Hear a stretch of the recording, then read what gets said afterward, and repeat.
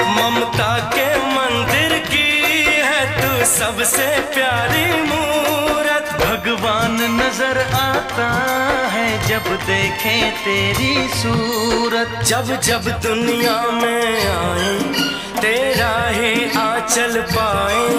जन्मों की दीवारों पर हम प्यार अपना लिख जाए।